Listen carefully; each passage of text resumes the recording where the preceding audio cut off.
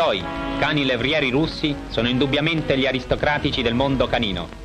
Ecco alcuni bellissimi esemplari domestici di questa razza che nella Russia degli zar erano tenuti da grandi proprietari terrieri per la caccia ai lupi, con i quali gareggiavano in rapidità e in ferocia. Chi lo direbbe vedendoli così eleganti e mansueti? Pure si racconta a questo proposito la tragica sorte toccata ad un'incauta bimba, figlia di un intendente della casa imperiale, che si avventurò nel recinto dove era rinchiusa la muta dello zar e fu letteralmente sbranata. Lo zar, inorridito dall'orribile sciagura, fece immediatamente sterminare le bellissime ma selvagge bestie.